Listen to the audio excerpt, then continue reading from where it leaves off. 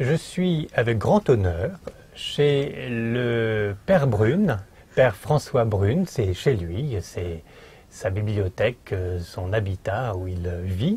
Et nous allons parler de l'un de ses livres, euh, celui-ci, aux éditions Oxus, Dieu et Satan. Père Brune, bonjour. Bonjour, oui. C'est un plaisir de vous retrouver.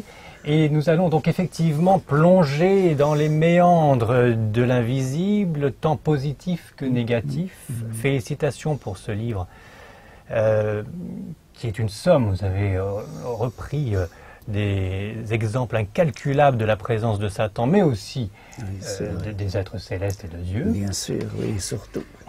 Et la question que je voulais vous poser, c'était est-ce que vraiment avec toutes les personnes que vous avez rencontrées, euh, entre autres euh, des, mystiques qui, ont les stigmates, qui ont toutes les douleurs possibles, mais qui sont contents de le vivre parce que c'est le Christ qui, l'offre. Je ne sais plus quel est son nom d'ailleurs, ça devait être. Natuzza Evolo. Voilà. Est-ce que vraiment. Dans le sud de l'Italie, exactement. Est-ce que vraiment ces, ces gens-là euh, n'ont pas plus de problèmes psychiatriques que spirituels? Non, dans le cas de Natuzza l'explication psychiatrique ne tient absolument pas, ça, n'y a aucun doute. Parce que tous les faits sont inexplicables. Les faits sont inexplicables, ils sont bien constatés, ce sont des faits matériels qui se produisent. Et rien ne peut expliquer, par exemple, le phénomène de hémographie, pratiquement unique dans toute l'histoire de la mystique. On a eu quelquefois des phénomènes de dermographie. Alors là, c'est beaucoup plus connu, c'est déjà assez rare, mais ce sont des, sortes de soulèvements de la peau qui euh, correspondent à des lettres et qui forment des, inscriptions. On a même des cas où ce soulèvement de la peau, euh, un petit peu comme certains fils électriques avec des toutes petites minuscules ampoules qui se mettent à scintiller, vous savez, et forment des lettres. On a des cas de ce genre-là. Il y en a un cas enregistré comme ça au, au Québec qui est assez extraordinaire. Mais ça reste de la dermographie, c'est la peau elle-même qui forme des lettres. Tandis que, le phénomène de hémographie, c'est le sang qui forme des lettres. Et alors il y a du sang qui peut perler euh, sur son front, sur le revers des mains, sur le genou, quelquefois sur le, haut de la poitrine. Et alors on passe dessus euh, le, le, mouchoir, hein, en le déployant après, ce que je vous éviterai. Et voilà que sur le mouchoir apparaissent des inscriptions formées avec son sang, c'est bien son sang qui forme ces inscriptions, c'est toujours en lettres d'imprimerie, et les caractères sont assez régulièrement espacés. Alors que dans un mouchoir aussi bouchonné que le mien, il est évident qu'il y a des plis qui sont assez profonds, et donc normalement on s'attendrait à ce qu'il y ait un, un, écart beaucoup plus grand entre certaines lettres qu'avec d'autres. Oui, là vous avez retrouvé dans le livre quelques-uns des exemples, et alors ça donne non seulement des inscriptions dans différentes langues, qu'elle ne connaît pas. Elle est même incapable de parler correctement l'italien, elle ne parle que son patois. Elle est incapable de lire, elle est incapable même de lire l'heure sur une horloge. Elle est vraiment tout à fait une, une pauvre fille, tout à fait inculte. Et voilà que ça forme des inscriptions qui peuvent être en français, en latin, en allemand, en anglais, dans un tas de langues. Et euh, souvent, ce sont des prières.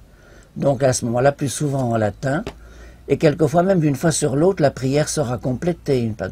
Et également des dessins extrêmement fins, représentant par exemple une petite colline avec trois croix, ou alors un personnage agenouillé euh, tenant euh, dans ses mains un chapelet, ou alors euh, la grande hostie marquée des trois lettres IHS, Jesus Hostia Sancta, Jésus Hostie Sainte.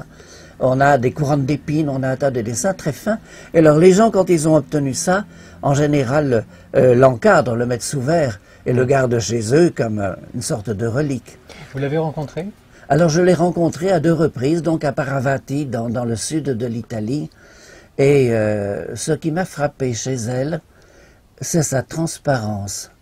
C'est une impression assez rare, ça.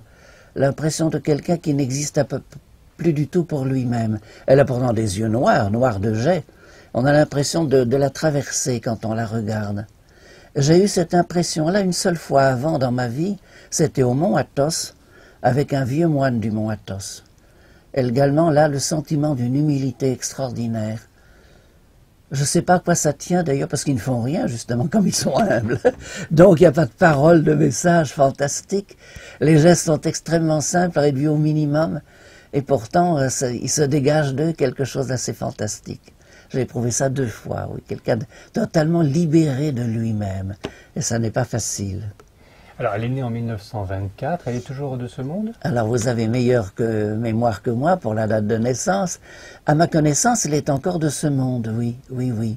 Et elle continue d'avoir ce problème de martyr quasiment, euh, avec ses stigmates. Euh, et, puis en plus, elle discute avec les morts, donc elle est aussi médium. Oui, elle a des dons médiumniques absolument extraordinaires. Elle est médium, effectivement.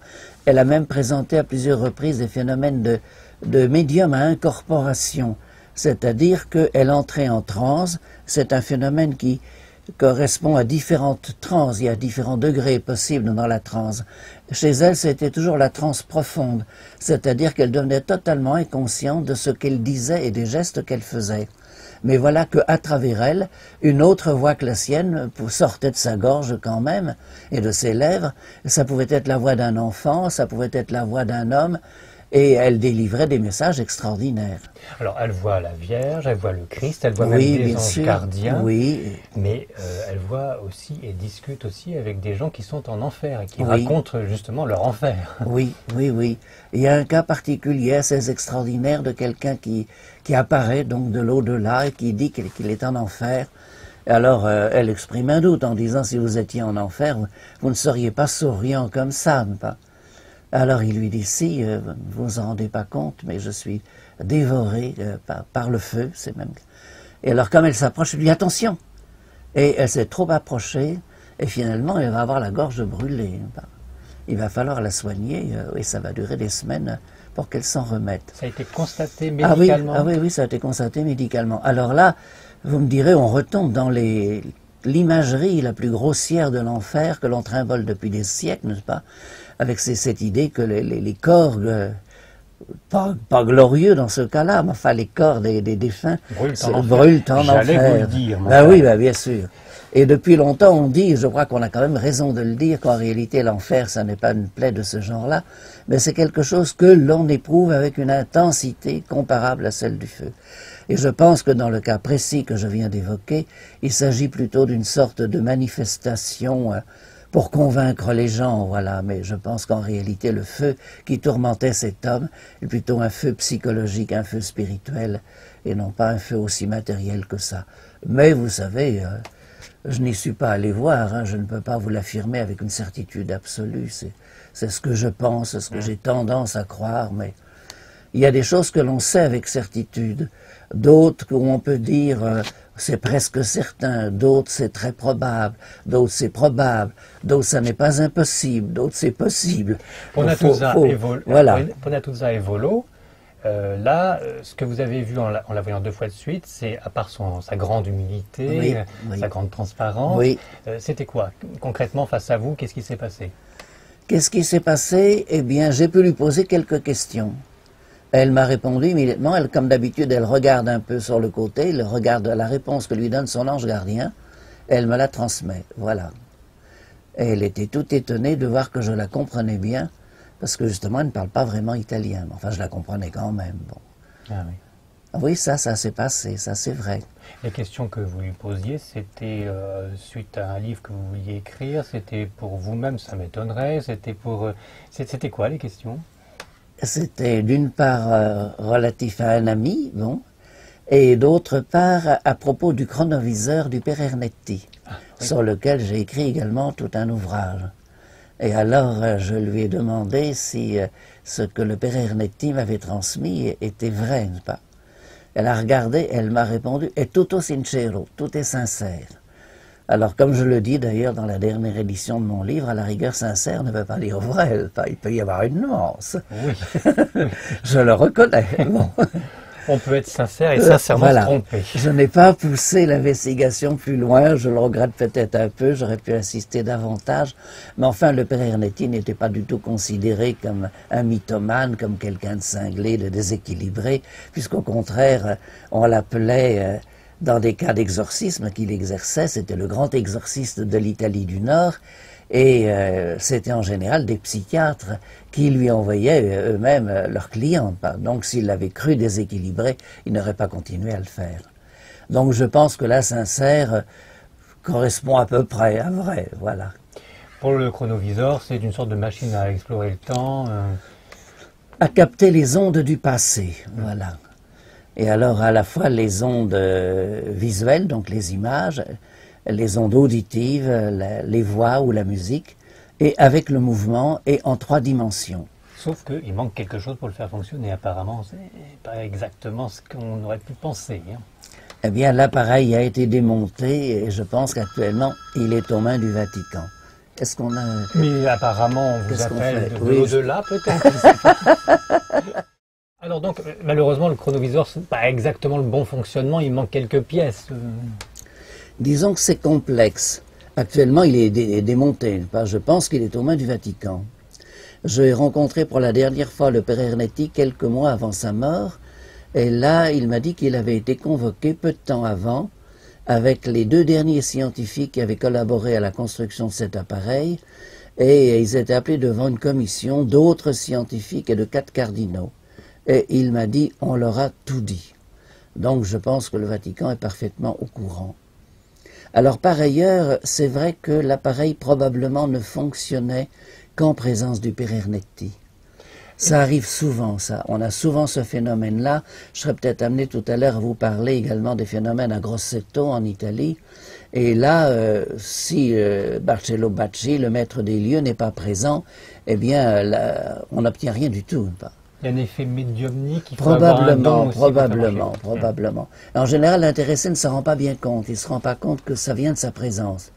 Mais il n'empêche que s'il n'est pas là, que les autres ont beau essayer exactement avec les mêmes appareils, la même méthode, ils n'obtiennent rien. Et ça, c'est assez fréquent avec ces appareils qui sont un peu en pointe, qui sont tout à fait au début de communication, qui après ça deviennent plus faciles.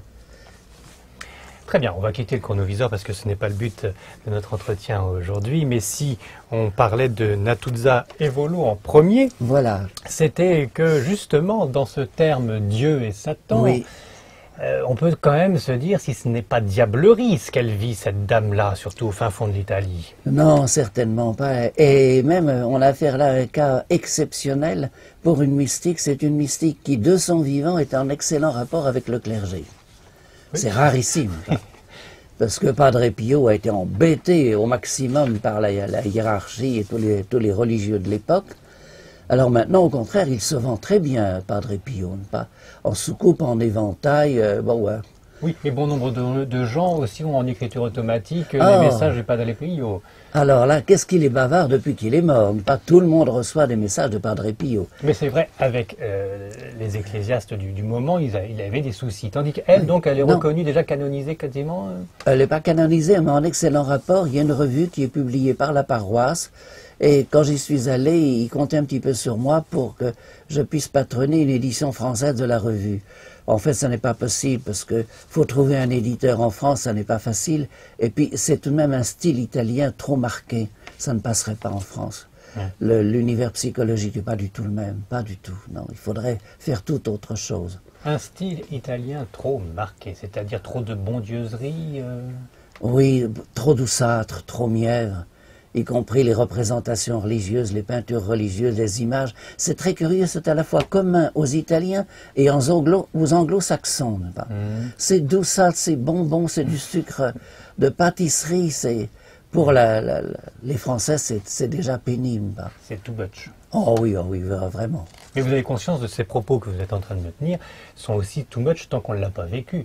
Parce que alors des, petites larmes de sang qui font après des images c'est pas c'est pas des larmes hein, c'est des gouttes de sang qui mmh. perlent c'est pas comme des larmes oui. elle a connu également de nombreux phénomènes alors de bilocation qui sont bien constatés et même au moins deux fois de trilocation oui je pense que d'ici quelque temps des choses devraient paraître en français parce que moi j'avais rapporté les quatre volumes du professeur Marinelli qui est un professeur d'université et qui euh, chaque fois mène les enquêtes auprès des gens auxquels elle est apparue pendant, au cours de bilocation. Et donc, euh, il a publié quelque chose de très sérieux. Et là, en France, on m'a demandé euh, successivement le premier tome, puis le deuxième pour le traduire en français. Donc je pense qu'un jour on aura une documentation. Pour le moment, ben, il n'y a que dans mon livre. Hein, c'est le seul ouvrage en français à en parler. Oui. Et quelques photos que vous avez retranscrites sur le livre. Voilà. Euh, pas de vidéo, pas de télé, personne ne va la voir. Là, je ne peux pas vous dire. elle a dû quand même faire l'objet d'émissions de la télévision italienne. Hum. Je crois que si, je crois me rappeler que si. Ah, c'est aussi, peux pas vous en dire énorme que le Yeti. Bah oui, c'est aussi énorme. Oui, la comparaison peut-être, euh, bon. Pourquoi pas Pourquoi pas.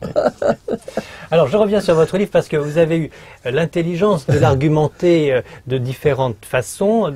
D'emblée, vous dites voilà, ça existe, le diable Satan existe, ah Dieu existe bien sûr, et qu'il faut faire votre choix. Ah en lisant ce livre, vous allez comprendre qu'il y a pas mal de prodiges qui se déroulent devant vos yeux, si vous êtes un tant soit peu ouvert, et qu'il faut choisir votre camp. Ah Alors choisir son camp pour vous, c'est que systématiquement, à n'importe quel moment, la guerre est ouverte entre le bien et le mal. Sans arrêt. Sans arrêt, c'est la guerre entre le bien et le mal, d'où d'ailleurs le titre Dieu et Satan, le combat continue. Alors certains me disent c'est un mauvais titre. Je pense qu'ils ont raison sur le plan commercial. Parce que ça effare, effare les gens un petit peu. Ils ont peur que je parle trop de diablerie, que ça leur fasse peur, etc. C'est pas du tout le but du livre. Mais ce que je voulais, c'était montrer euh, que euh, toute l'histoire du monde, depuis les origines, c'est la lutte entre le bien et le mal, entre les fils de lumière et les fils de, de ténèbres. Je suis absolument désolé là-dessus d'avoir un langage qui rejoint celui de Bush, que je n'aime pas beaucoup, n'est-ce pas? Il n'en tire pas les conséquences idéales, mais là-dessus, il a raison, c'est vrai, je suis obligé de le reconnaître. Toute l'histoire du monde, c'est la lutte entre le bien et le mal, entre l'amour et la haine la haine ou l'égoïsme forcené, ce qui revient au même. le refus, le refus d'aimer les autres. Ça, ne nécessite pas des croisades. En tout cas, la façon de combattre le mal ne consiste pas à partir en guerre, pas à massacrer les autres en ignorant totalement leur langue, leur culture, leur religion. Ça, c'est d'une bêtise. C'est pas la méchanceté, c'est la bêtise. Mais la bêtise fait souvent beaucoup plus de mal que la méchanceté, finalement. Ce qui veut dire que donc il y a une guerre qui se passe au-dessus de nous. Euh, c'est pas nous, euh, êtres humains, qui sommes euh, à la base de cela, c'est vraiment des êtres célestes et puis inférieurs au mm. combien. Bref, mm. les légions de Satan et, les légions de Dieu qui se, qui se mènent la guerre continuellement. Et nous, nous sommes au milieu, c'est ça Alors, en empathie, comme on peut? Le combat ne se déroule pas seulement au-dessus de nous et autour de nous, mais en nous. Ah oui. Donc chaque personne vous, mon père, ça m'étonnerait. Moi, sûrement. On a un ange gardien puis un démon. Euh, on, est, on est toujours tiraillé ou comment, comment vous le concevez? Peut-être pas directement sous cette forme-là, mais nous ne sommes jamais seuls. Alors ça, je l'ai développé davantage dans Les morts nous parlent, surtout le tome 2. Et euh, si vous voulez, il y a plusieurs façons de l'aborder. J'essaie de montrer la convergence entre ces différentes voies.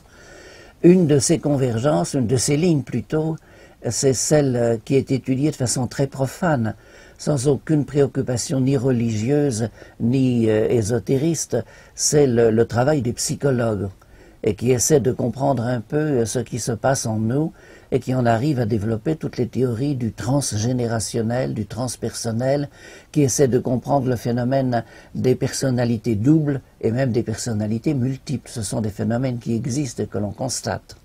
Alors avec des nuances, là aussi dans les interprétations, dans les courants parmi les chercheurs, en France, devant des phénomènes de personnalité double ou multiple, euh, la tendance, c'est de tout renvoyer au psychiatre, de n'y voir que des phénomènes psychologiques. Pas un traumatisme de petite enfance, des abus sexuels de je ne sais qui, enfin bon, un tas de... de euh, un ésope mal résorbé ou, euh, un complexe d'électres, oui, des, des plutôt, ou d'électres, etc.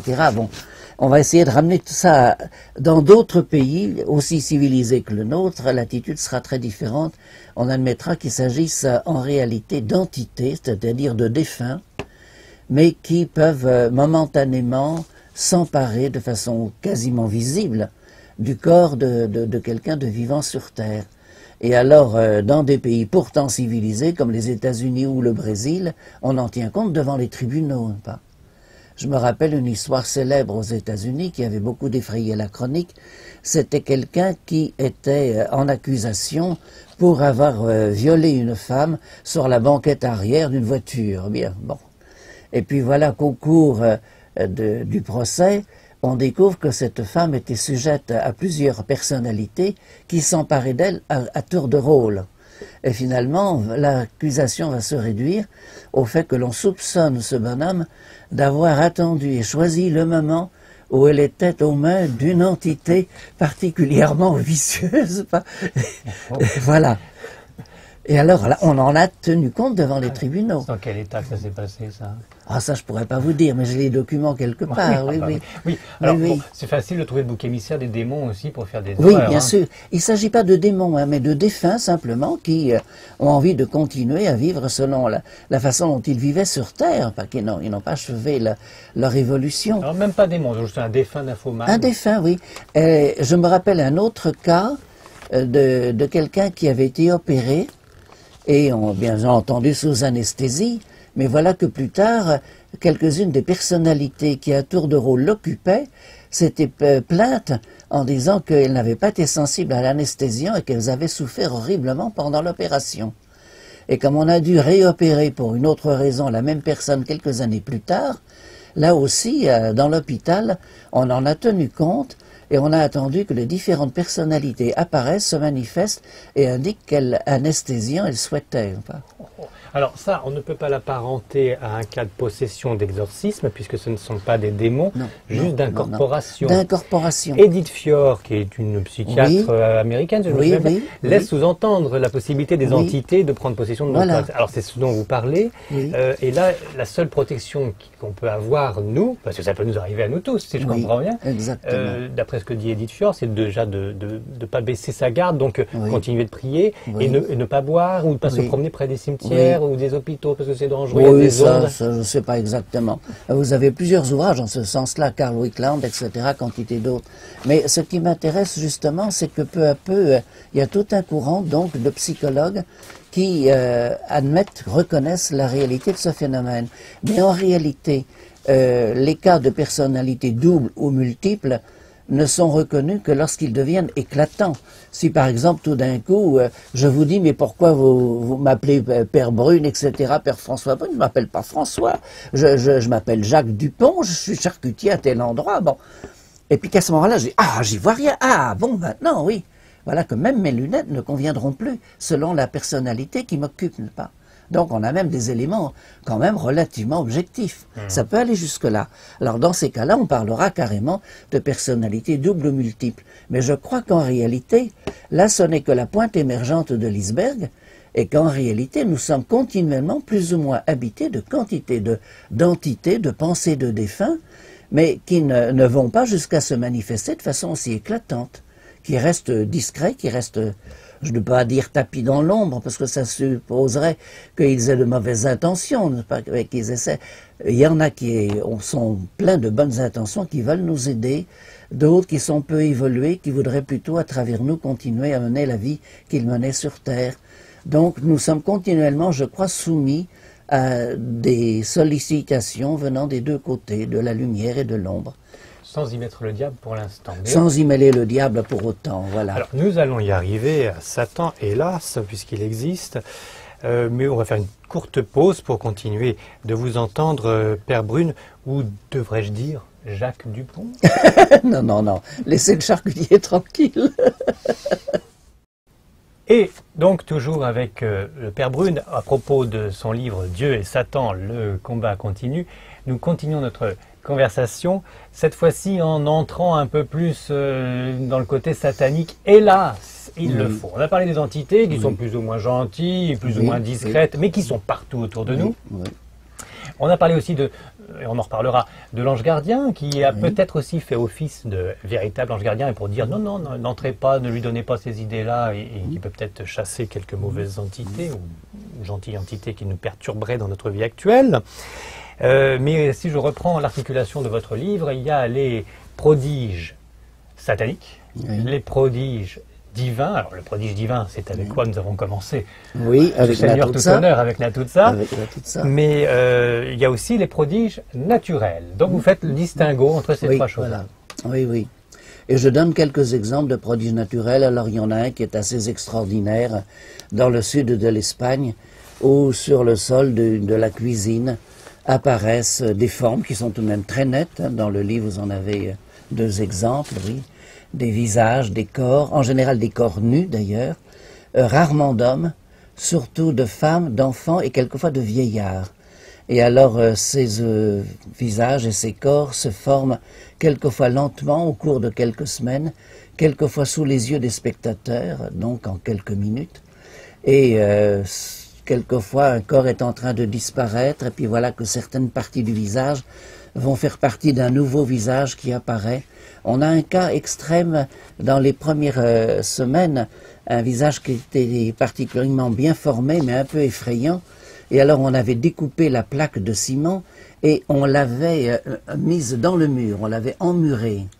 Et voilà qu'au cours des années, cette plaque a commencé à se déplacer dans le mur et à glisser vers la cheminée, qui semble le centre névralgique, et en même temps, le regard de la figure s'est tourné lentement vers le, vers l'âtre, vers le foyer de la cheminée. Et pour vous, c'est un prodige naturel, pas oui, satanique. Il semble qu'il n'y ait rien, de, aucune intention maléfique derrière. Alors il y a eu un phénomène quand même à la base qui qui est très heureux, non, qui est même épouvantable. On a quand même fait un tas de recherches, d'analyses, donc des, pigments qui formaient ces images. Et dans le sous-sol, on s'est aperçu qu'il y avait beaucoup d'ossements, et notamment des ossements de, de femmes, d'enfants, et uniquement de, vieillards, pas d'hommes adultes. Et alors on pense que ça a dû être au cours d'une des guerres de la région où les hommes, eux, étaient partis dans la montagne ou dans, les forêts avoisinantes pour se réfugier ou continuer le combat, alors qu'ils avaient laissé derrière eux la population civile ou hors d'état de se battre, et que c'est cette population qui a été massacrée. Également, je raconte que dans cette pièce, on a disposé donc un magnétophone pour capter euh, éventuellement des, ondes récurrentes et rémanentes. Et là, on a eu des appels à l'aide, des cris, des hurlements. Enfin bon, il s'est passé quelque chose d'affreux. Alors ça fait un peu maison hantée quand même. Ça fait tout à fait maison hantée, oui. Alors on hésite entre une guerre très ancienne avec les morts ou alors une guerre au moment de la conquête de l'Espagne par Napoléon. Notamment dans ce village, il y a eu un épisode évidemment très malheureux. Les troupes françaises s'étaient retirées, il y a un officier qui, était, qui traînait un peu, ils étaient arrivés à attraper, et ils ont eu la très mauvaise idée de le mettre dans le four à pain. Alors, il est évident que si les Français sont revenus après, ils n'ont pas dû faire dans la dentelle, c'est probable. Autrement dit, des choses affreuses. L'idée de mettre cette pauvre dans un four à pain, est-ce que vous pensez que ça a été initié par des mauvais esprits, justement? Oh oui, c'est initié par le mal qui est en nous. Alors à la fois des mauvais esprits, mais est-ce qu'ils sont vraiment nécessaires? Est-ce qu'on a besoin de tellement insister pour faire jaillir la haine de nos cœurs? Je n'en suis pas sûr, elle est déjà là. Hein. Il y a déjà cette puissance double à la fois d'amour, mais en même temps de, de haine en chacun de nous. Alors c'est vrai qu'il y a toujours des puissances en nous qui essaient de l'exciter, d'en profiter, de l'exploiter. Ça c'est vrai, je le crois. Nous sommes donc, si je comprends bien, Père Brune, nous avons un capital, nous sommes une mine de bonté, mais aussi une mine de méchanceté, et on a des petits anges ou des petites euh, entités ou êtres purs ou impurs qui s'amusent à bien utiliser euh, ce que nous avons en nous déjà. Nous sommes mi-anges, mi-démons finalement. Voilà, ben oui, je crois que vous avez tout compris. Parce que nous sommes des êtres libres et que l'amour implique également toujours la possibilité du contraire. On ne peut pas les dissocier totalement.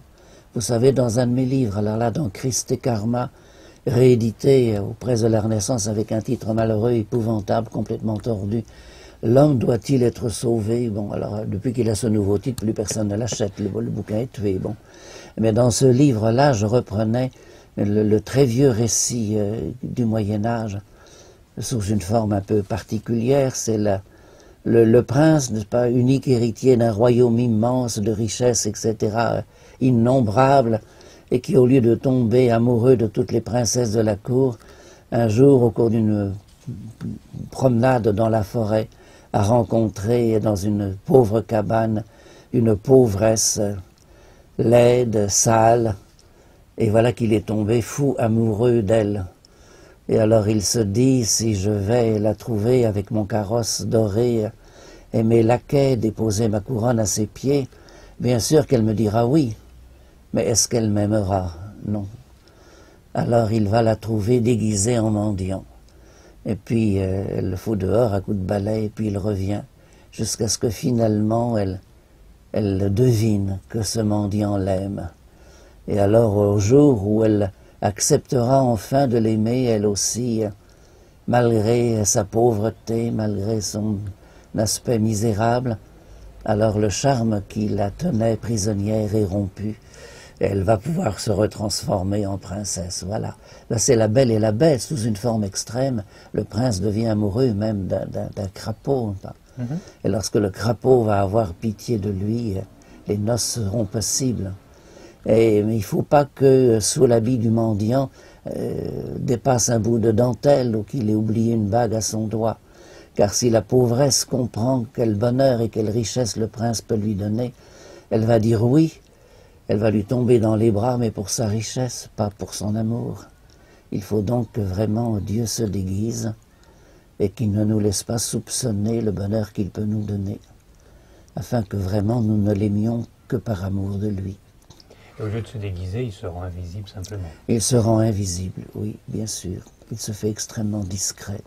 Dans l'amour, il y a aussi la haine, vous l'avez dit, Père Brune. Alors donc nous avons Dieu qui nous aime, et, nous avons l'amour pour Dieu, enfin pour pas mal d'entre nous. Et il y a aussi Satan qui a la haine. Voilà, oui. Il y a aussi la force du mal, Satan. Alors Satan déteste Dieu. Oui. Satan ne veut qu'une seule chose, faire du mal à Dieu, et donc nous récupérer aussi parmi ses ouailles euh, pour qu'on brûle en enfer. C'est ça le, but de Satan, c'est sur Terre, à mon avis, il y est, et c'est le prince de, la planète, hélas. Et en plus, son seul boulot, c'est de, de, titiller Dieu en l'embêtant, alors que sachant pertinemment que sa cause est perdue, puisque c'est Dieu qui gagnera à la fin. C'est le prince de ce monde, en effet, c'est comme ça que l'appelle euh, Saint Jean dans, le quatrième évangile. Et euh, si vous voulez, Dieu ne peut pas créer des êtres qui ne peuvent qu'aimer. Souvent les gens voudraient ça. Pourquoi nous êtes donné la, liberté, puisque c'est la liberté qui fait que nous pouvons sombrer dans la haine, la vengeance, la rancœur, etc. Mais euh, il n'y a pas de machine à aimer. Il n'y a pas moyen de faire des êtres libres qui ne se feraient qu'aimer. Si Dieu nous donne cette possibilité de partager son amour à lui, il faut que nous soyons totalement libres. Et à ce moment-là, ça implique cette possibilité de refuser ce jeu de l'amour et de se replier dans la haine. Et alors, en effet, une des tendances de la haine et du mal, c'est de ne trouver une sorte d'allègement à leur souffrance de haine qu'en propageant cette haine, qu'en y faisant tomber les autres. il y a une sorte de jouissance du mal. Et le, plus subtil de la jouissance du mal, ce n'est pas seulement de faire souffrir, de faire du mal, mais c'est d'entraîner un autre à faire souffrir les autres, à faire lui-même le mal. C'est la jouissance suprême, ça. Et alors là, on a ça, on a ce déchaînement de haine. Il n'y a qu'à voir l'histoire de la planète, hein, l'histoire du monde, depuis qu'on peut écrire l'histoire. C'est monstrueux, c'est épouvantable l'histoire du monde. Oui, on va peut-être pas s'y plonger parce que déjà c'est pas bien gai. Non, non, non, c'est pas bien beau, hein, c'est pas bien gai. Alors j'y retourne néanmoins parce qu'on va, on va en profiter pour frémir. Bienvenue dans les ah, films d'horreur. Vous tenez à frémir, bon. J'y tiens pas trop, mais c'est vrai qu'à la lecture c'était tellement fort qu'il fallait quand même que je le ressorte. Parmi euh, tous les prodige, entre guillemets, satanique hein, du malin, les faux stigmates, les fausses apparitions, les faux messages soi-disant euh, divins. Il y a aussi des vraies possessions. Oui. Vous en avez euh, relaté magnifiquement, au moins trois. et il y en a une qui est monstrueuse. Et alors, attendez-vous à frémir. je sais laquelle. 425, je ne sais pas si je vais réussir à bien dire son nom, mais la petite Gottlieben Ditus, voilà, qui va être sauvée par un pasteur protestant, le pasteur Blumhardt. Et alors là, euh, disons que, euh, par exemple, elle disait, oh ben là, j'ai mal au coude. Et aussitôt, on appelait le pasteur qui venait prier près d'elle. Puis peu à peu, ça bougeait dans le coude. Puis peu à peu, on apercevait qu'il y avait un petit point noir qui apparaissait. Puis peu à peu, ça commençait à sortir. Alors là, on essayait avec les ongles, avec une pince, à tirer dessus. Et euh, en continuant à prier, c'était quelquefois une lutte qui pouvait durer jusqu'à une heure pour qu'on sorte ce qu'il y avait là-dedans. Et ça se referme après sans laisser aucune cicatrice. Et alors, qu'est-ce qu'il en sortait? Des aiguilles, des épingles, des clous, du fil de fer barbelé, des lacets absolument incroyable de toutes les parties du corps, des paupières, de la langue, des parties intimes du corps, de tous les côtés. Et euh, dans les cas où on n'arrivait pas à joindre le pasteur suffisamment vite, ça lui faisait tellement mal qu'il finissait par prendre un couteau et carrément se faire une plaie pour l'arracher. Et à ce moment-là, ça laissait une cicatrice. C'était en quelle période? Eh bien, vous avez les dates dans mon livre, mais c'est pas tellement vieux, je me rappelle jamais, mais ça doit être de la fin du 19e, quelque chose comme ça, fin 19e, 20e. Et en même temps, en présence de médecins, on n'est quand même pas à une époque de légende où on dit, oh, les gens racontent n'importe quoi, ils en rajoutent d'un récit sur l'autre, etc. Vous m'avez vu venir. Non, non, voilà, voilà, voilà, voilà non, une période où il y a déjà de vrais scientifiques. Bon, ils sont pas aussi avancés que nous dans les sciences, mais ils ont déjà un esprit rationnel suffisant. Pas et d'ailleurs, en plus de ça, chez les protestants, ces phénomènes-là ne, ne sont pas tellement habituels et tellement reconnus. Pas, ils ont peine à admettre que ça puisse exister. Et puis on, se tait, a Et on se tait, et on se tait. Non, non, là c'est un combat qui a duré plus de trois ans pour la délivrer. Alors, cette euh, fille euh, expliquerait éventuellement ce cas de possession, hein. oui. alors c'est problématique, surtout si ça rouille, euh, par le fait qu'elle aurait fait, étant plus jeune, un petit peu de magie noire, se serait amusée à faire ça. C'est pour ça qu'elle aurait été possédée?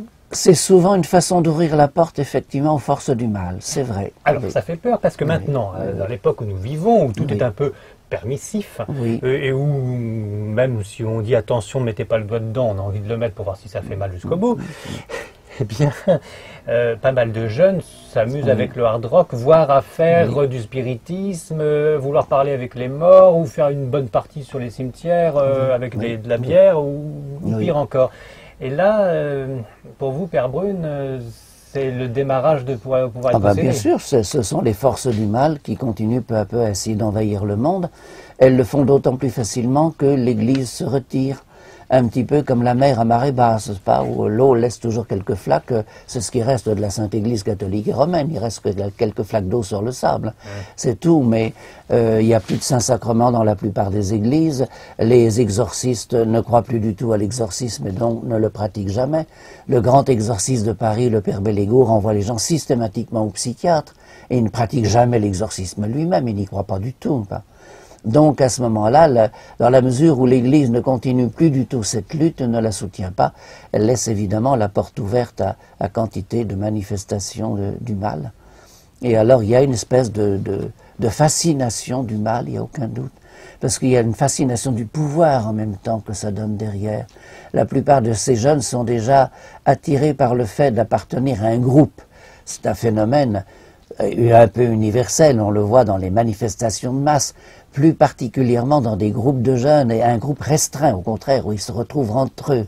ils ont tendance à développer même des sortes de codes de reconnaissance. ça les met un peu à part du monde. Vous ne me parlez pas des JMJ euh. Non, non, non, non, non, non, non. Mais dans les JMJ, le plaisir de se retrouver en masse à jouer, pas sans aucun voilà, doute. Mais c'est positif. C'est positif. Bon, il y a encore des jeunes positif, qui sont positifs. Voilà. toi, ami jeune qui nous écoute, fais attention au hard rock, fais attention de te retrouver avec quelques drogués ou autres buveurs. C'est c'est vrai.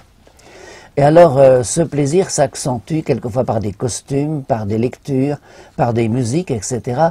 Euh, la plupart du temps, ça s'arrête là, ça ne va pas plus loin. Mais c'est souvent une première étape pour essayer d'en entraîner ceux qui le pourront à aller plus loin.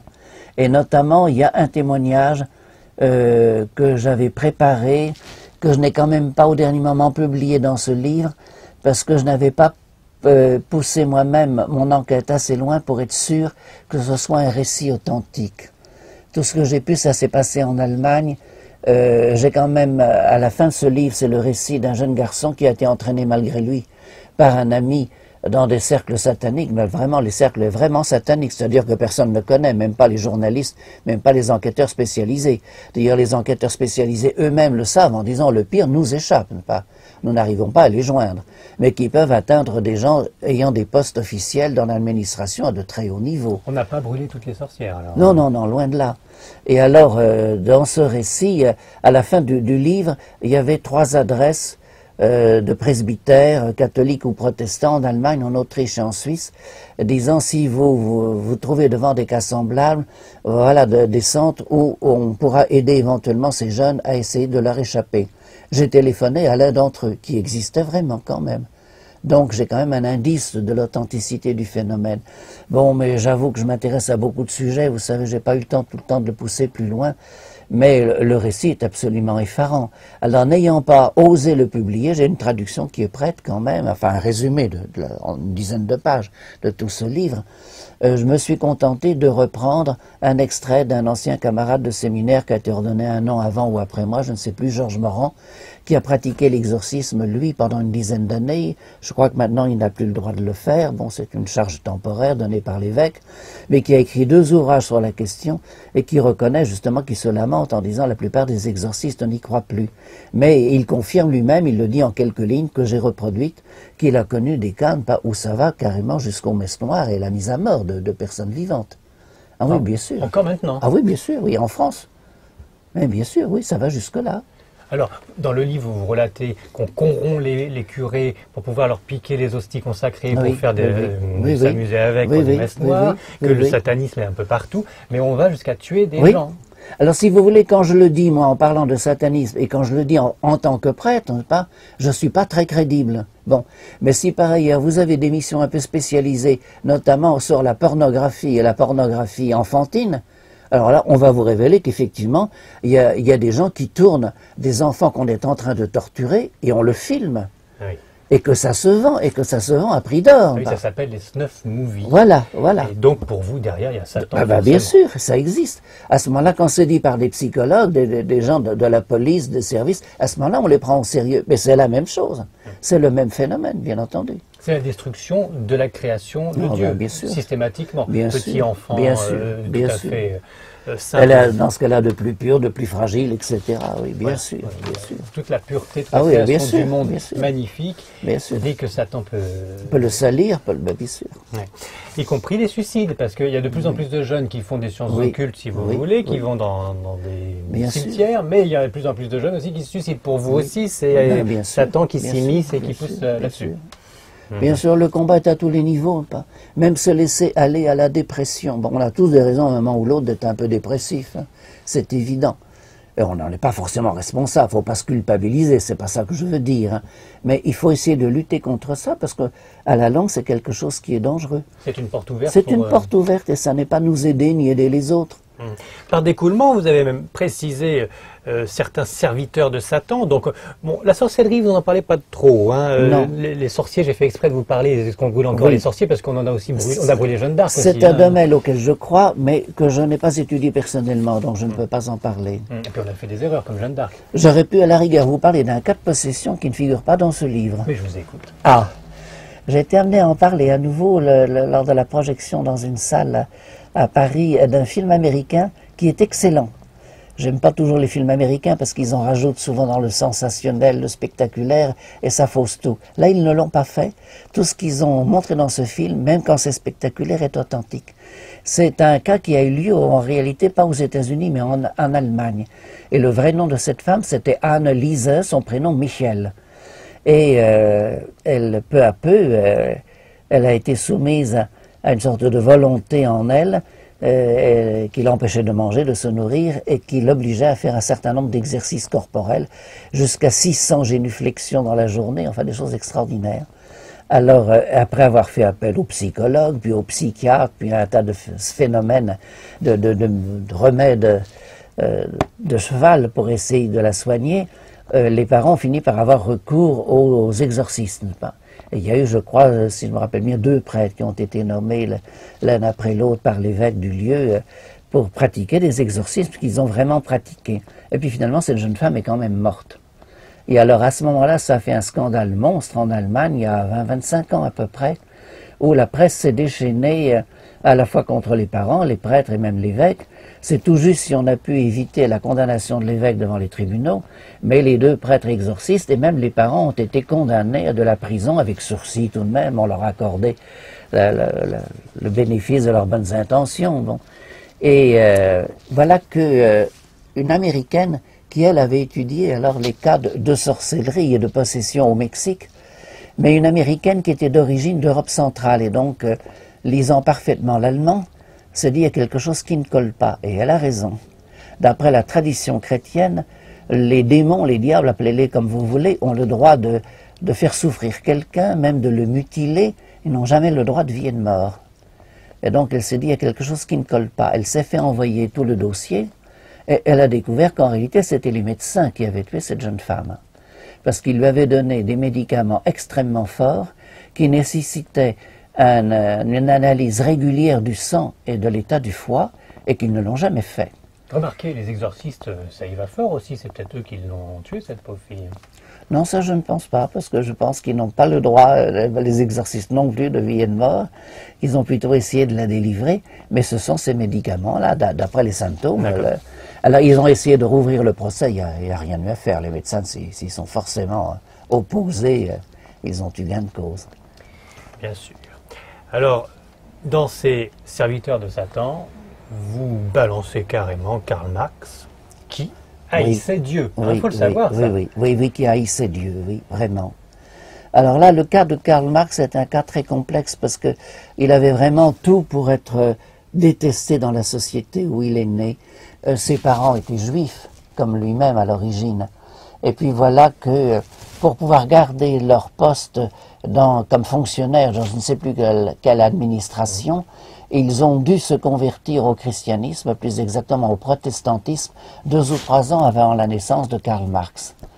Donc une conversion forcée, évidemment. Alors il a été élevé dans des écoles euh, protestantes. On a tout de même des textes de lui, quand il est collégien, qui laisseraient entendre qu'il a été convaincu par la beauté de ce message et qu'il l'a même très bien compris au sens le plus fort, le plus mystique. On en a encore quelques-uns qui datent de ses premières années d'études universitaires qui vont dans ce sens, puis tout d'un coup un changement complet. Alors ça passe simplement un retour à, la foi judaïque, c'est pas ça du tout. Ça ne le conduirait pas à haïr Dieu, pas, pas de, ce serait pas ça la réaction, c'est évident. Euh, tandis que là, c'est simplement non seulement une révolte contre toute la société, ce qu'on comprend, parce que en tant que juif, il était déjà détesté par une bonne partie de la population. En tant que juif devenu chrétien, il était détesté en plus de ça par tous les juifs, c'est évident. Donc il s'était mis sociologiquement dans une situation impossible, c'est évident.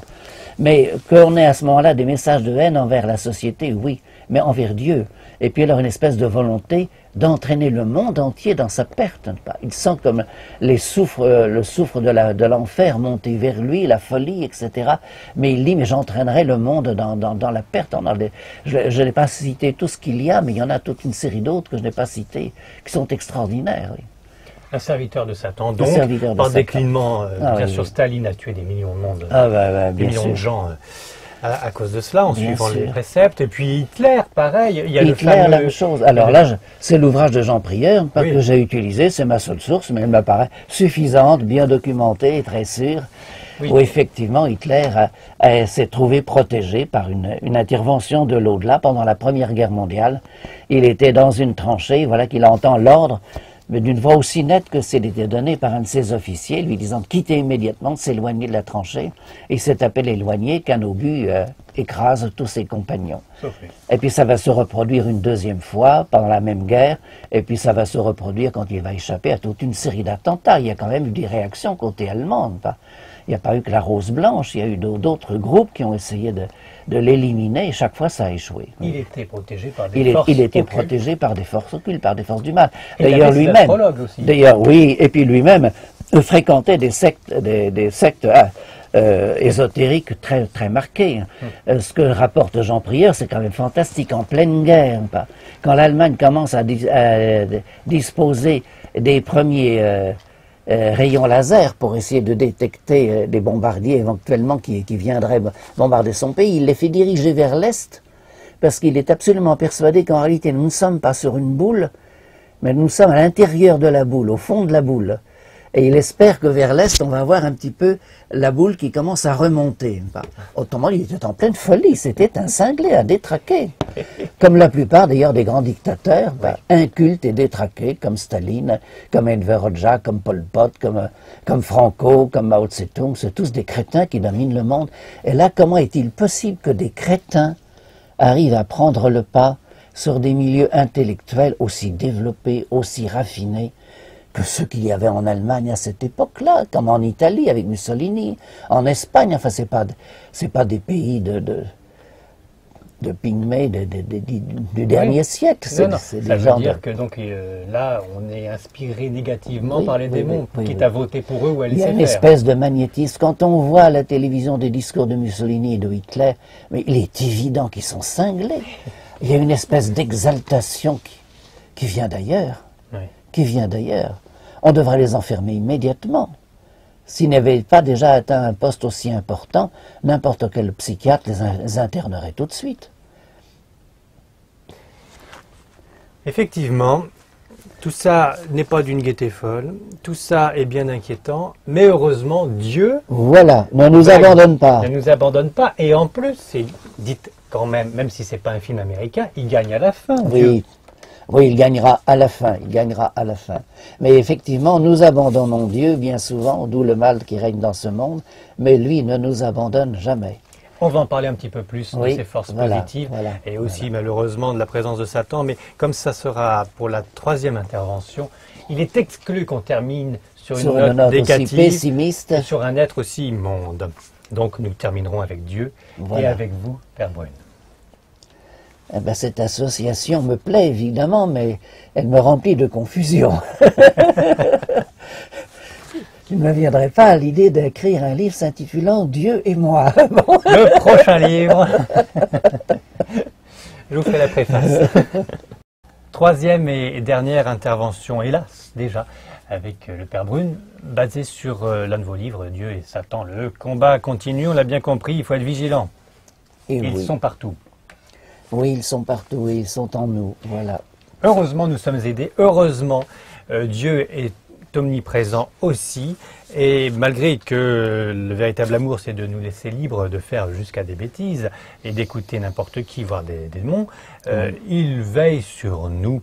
Nous avons quelques parades pour éviter les problèmes qu'il y a sur Terre d'une façon assez récurrente. Et ces parades, on les utilise jamais assez et, on les oublie même. C'est le rôle de l'Église de le rappeler, le Saint-Sacrement, aller à la communion, se confesser, la prière et bien d'autres choses encore. Alors, Père Brune, si on a choisi notre camp, si on veut être dans le côté du bien, quelles sont les choses qu'on devrait faire systématiquement dans chaque journée et ne surtout pas oublier Prier, prier sans cesse. Alors c'est simple, hein, sans cesse. Alors vous me direz, mais comment peut-on prier du matin au soir sans arrêter?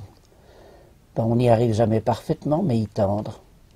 Autrement dit, dès qu'on s'aperçoit qu'on ne prie plus, se remettre à prier. Alors c'est quoi prier? C'est pas marmonner indéfiniment les mêmes formules. C'est essayer de prendre conscience de la présence de Dieu. Dieu est là avec nous en ce moment, ce soir. Hein. Il y est tout autant qu'il le sera au paradis. Il n'est pas plus ou moins présent selon les lieux, ou selon les mamans. Il est présent partout, donc il est là. En réalité, nous sommes au paradis sans le savoir. Si nous ne le percevons pas, c'est parce que nous ne sommes pas encore prêts. Si on le percevait sans y être préparé, à ce moment-là, ce paradis deviendrait pour nous notre purgatoire ou même notre enfer. Le enfer, finalement, c'est de se trouver plongé dans l'amour de Dieu sans être à ce niveau d'amour. Et à ce moment-là, on le ressent effectivement comme quelque chose qu'on peut comparer à une brûlure. Donc en réalité, euh, ce qu'il faut, c'est essayer de vivre sous le regard de Dieu, d'une autre façon de dire les choses, euh, quoi que l'on fasse.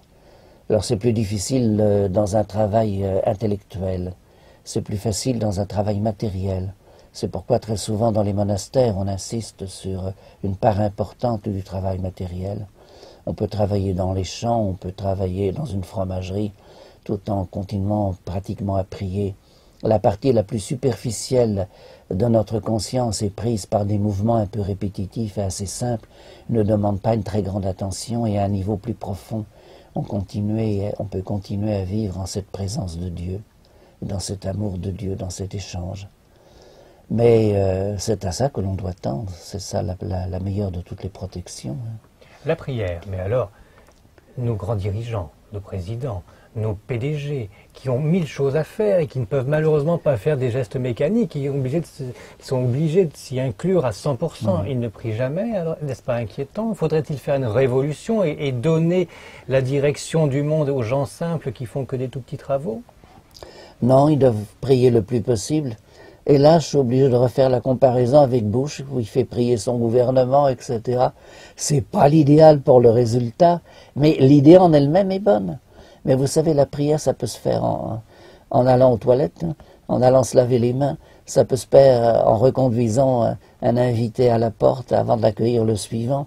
Ça peut se faire dans des petits moments. Ça ne nécessite pas d'entrer dans un espace de méditation profonde. Je crois quand même qu'il est important pour tous, y compris pour les dirigeants de ce monde, de se réserver coûte que coûte un moment, euh, un quart d'heure, une demi-heure par jour, pour vraiment se trouver en tête à tête avec Dieu. Ça, je crois que c'est quand même capital.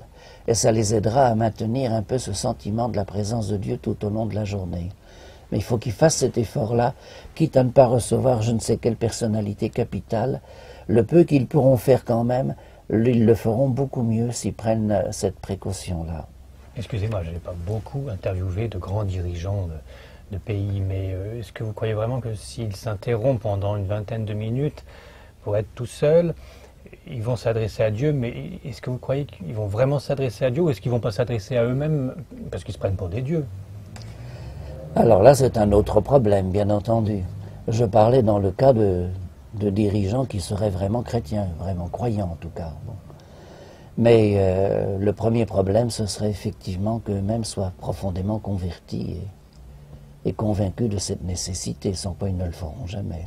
Car l'orgueil, qui est un des sept péchés capitaux inventés au XIe siècle, etc., mais l'orgueil est aussi un des axes du mal, comme dirait Bush. Oui. L'orgueil était un des axes du mal, c'est vrai. Et je crois d'ailleurs que euh, oui, je vous ai dit, la prière, c'est l'arme la plus efficace. Mais il y a effectivement un certain nombre de vertus à développer, l'humilité. Et je crois que dans l'Église, il y a beaucoup trop d'orgueil, ça, n'y a aucun doute, y compris au sommet de l'Église, y compris au Vatican, y compris dans l'attitude du pape actuel. À mon avis, il y a un orgueil colossal.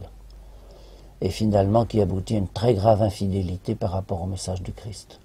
cette Église, elle est en train de se crever, de se casser la gueule, je dirais en un sens, elle n'a que ce qu'elle mérite. Hmm. Je ne la regretterai pas telle qu'elle est, certainement pas. Alors il faut construire autre chose. Je reste profondément chrétien, croyant à, la divinité du Christ, au mystère de la Trinité, à la présence du corps du Christ dans l'Eucharistie. Je crois à tout cela. Je crois au rôle de la Vierge Marie, au rôle des saints, très bien. Mais euh, un tas de règles que l'Église a rajoutées, non pas du tout. Je ne suis pas le seul d'ailleurs à le dire. Hein le blocage entre le sacerdoce et, le célibat, euh, il n'y a pas que moi le dire, le cardinal Martini, qui était un des favoris également pour l'élection du pape, disait le lui-même, ce n'est qu'une loi humaine, elle n'est pas forcément éternelle. Et il y a quantité de chrétiens qui sont privés de l'Eucharistie à cause d'une loi humaine. Je pense que ça n'est pas fidèle à la volonté de Dieu. Là, il y a une trahison profonde du Christ. Oui, l'orgueil dans l'Église, et qu'à voir comment il se déguise, pas? De tous ces costumes de la Renaissance. Et après ça, ils se prétendent l'église des pauvres. Enfin, je veux bien, mais il faut vraiment beaucoup de bonne volonté pour les croire. Bon, ben voilà qui est dit. Néanmoins, cette église vous laisse parler et vous vous excommunie pas pour autant.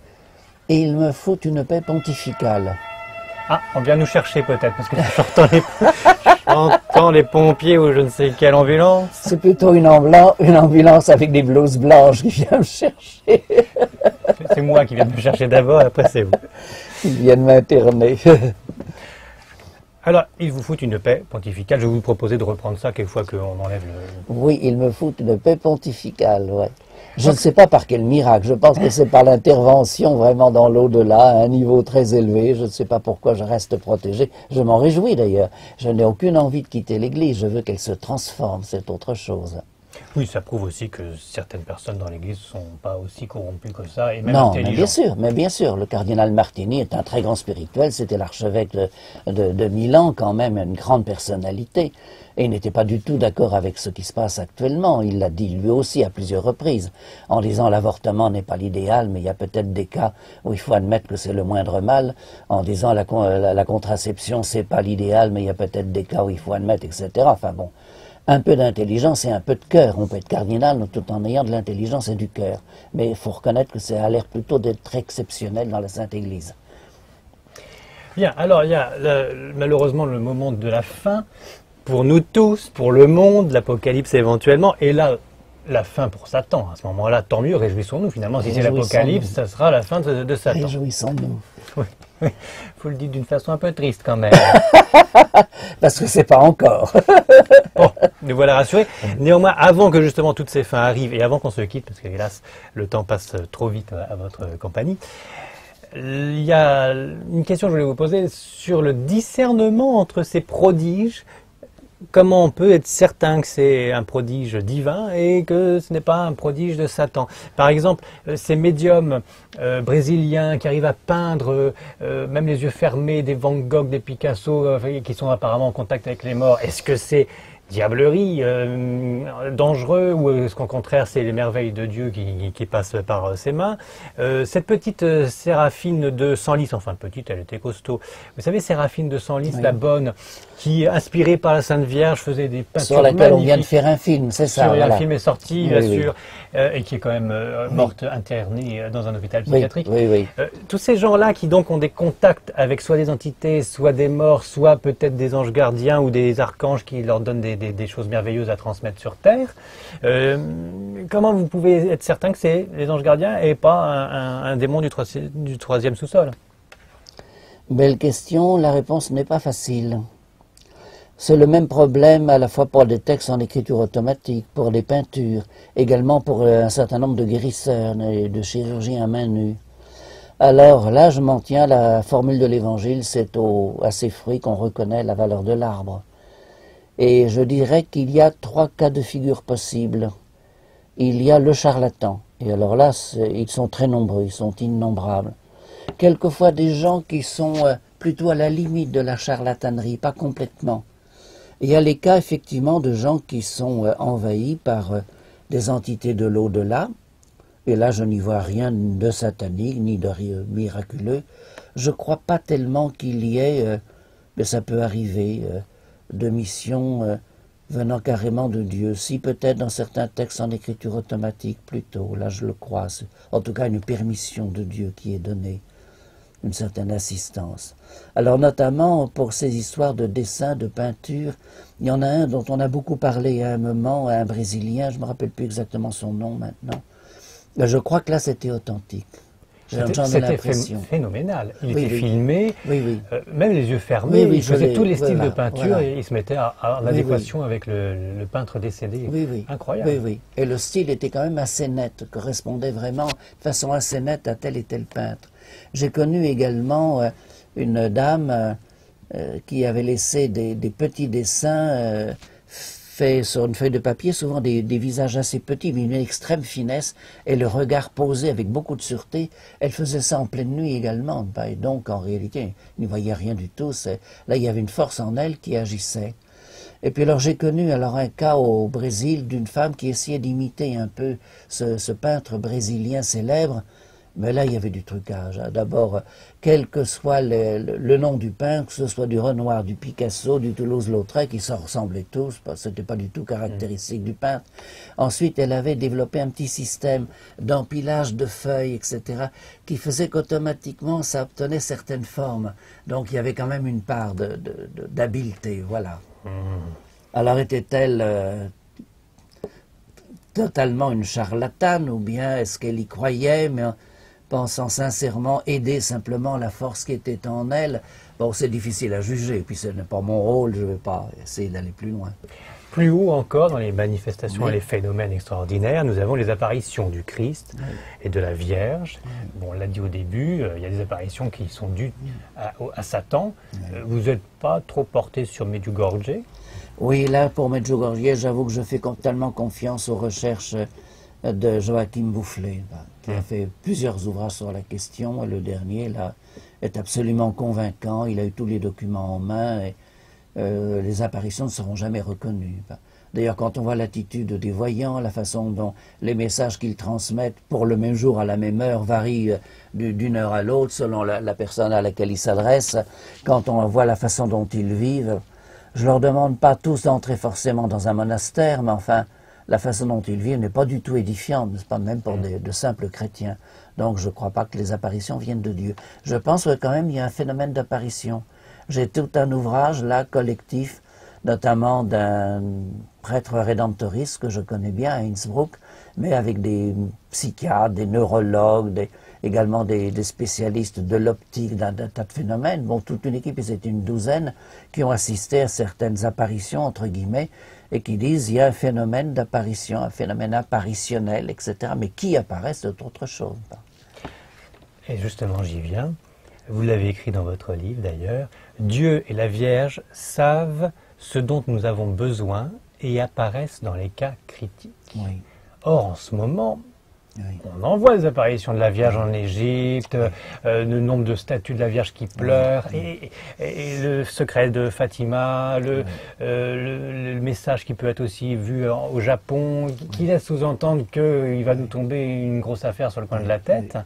Euh, et qui laisse souvent sous-entendre aussi que Dieu n'est pas content parce que euh, on va trop loin, et on fait trop de bêtises et que ça va pas continuer comme ça. Est-ce que pour vous, c'est à une odeur de sainteté complète et c'est vraiment la Vierge Marie qui nous prévient de ne pas continuer dans ce sens-là Et au contraire, ce serait Satan qui se déguise en Vierge Marie pour nous faire croire que Dieu est vengeur, toujours aussi cruel envers nous et, quitte à tout supprimer si on n'est pas sage? Je crois qu'il y a les deux, selon les cas. Effectivement. Je pense qu'à Medjugorje, ce n'est, ce n'est pas l'œuvre de Dieu. Et donc, il y a de fortes raisons de penser que ça vient plutôt des forces du mal. Voilà. Pour le message qui est, Oui, qui est oui, envoyé oui, d'un Dieu vengeur qui va faire l'apocalypse. Alors, Je pense que San Damiano n'est pas authentique non plus, ni Dozulé, bien. Je pense que Garabandal est authentique. la salette, À la Salette aussi, oui, oui, Fatima aussi. mais c'est pas d'une gaieté folle ces Non, non, non, c'est pas d'une question. Ils sont adaptés également à la mentalité de l'époque. Il faut, ça, faut tenir compte très fortement de ça. hein. Mais on n'a pas un Dieu qui est amour, on a un Dieu de la Bible, vous voyez Oui, hein oui, oui, oui. Ben, ça correspond au Dieu qui est diffusé par l'Église à ce moment-là. Bon, Il n'y a aucun doute. Et ça passe toujours par euh, la mentalité des, des voyants et dans le langage, dans les images qu'ils ont en tête. Et ça joue un rôle énorme. Ce qu'ils perçoivent en général, c'est déjà des mots adaptés, des mots transformés. Il y a déjà. Mais je pense qu'il y a la force de Dieu derrière, voilà. Mais le phénomène de l'apparition est quelque chose de très complexe. Très complexe, ça dépend des cas. Là, vous avez fait allusion aux apparitions de l'Égypte, là, qui sont absolument phénoménales. Ce sont des foules entières qui voient la Vierge.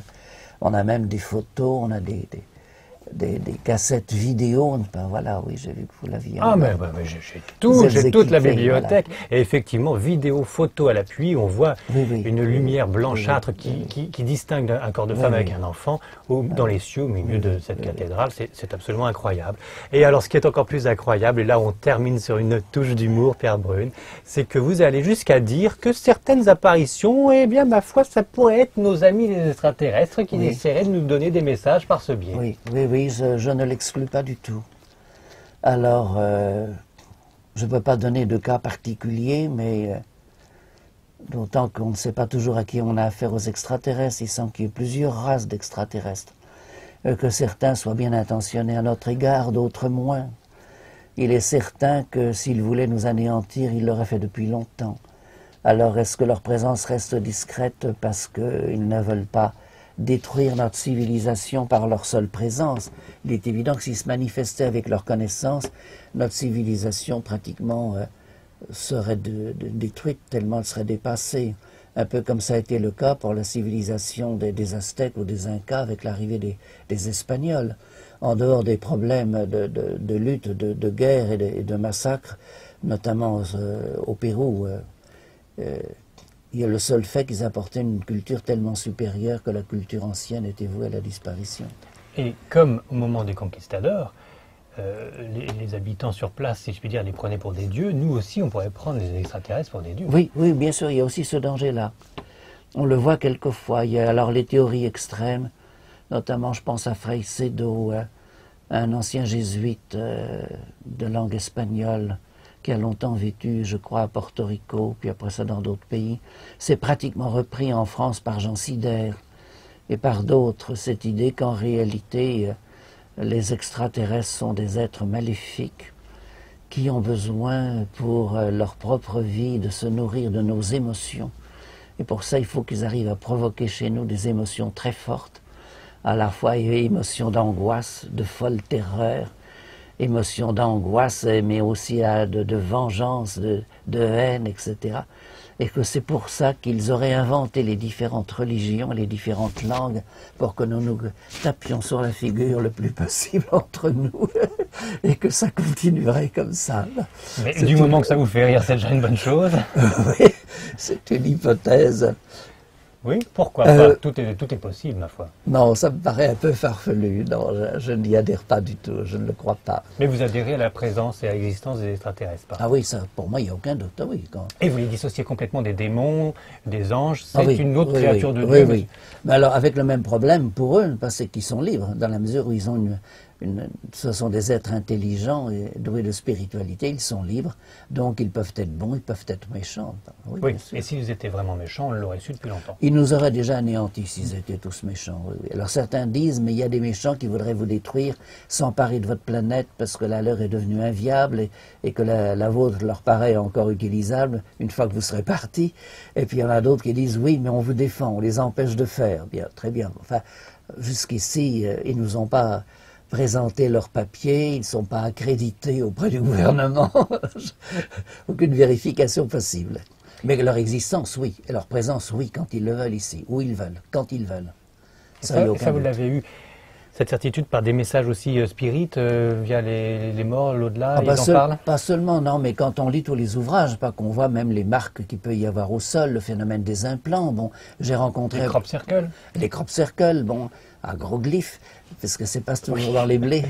Et puis euh, également les gens qui ont été enlevés par des extraterrestres. J'en ai connu plusieurs, j'en ai connu au moins quatre.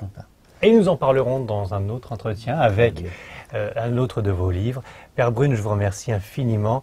Ça me permet donc de vous retrouver très prochainement pour la suite de nos entretiens sur un autre livre. Merci Père Brune, à très bientôt. Merci à vous, merci.